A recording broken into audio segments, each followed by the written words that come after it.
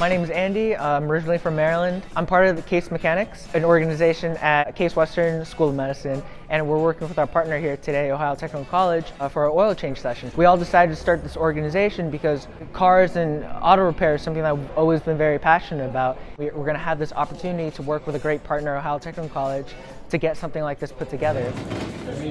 Our session here today is going to be on changing oil. In future sessions, we'll be working with uh, changing brakes, and uh, things like that. Reach over on this side and you're gonna loosen it up and your oil is gonna drain. All our members were very, very passionate about this because, you know, a lot of us, we want to be surgeons. A lot of us here, we want to be orthopedic surgeons, we want to be cardiologists. And we all love uh, rolling up our sleeves and really getting into things and getting our hands dirty. And we felt that uh, automotive mechanics and automotive repair is just like that.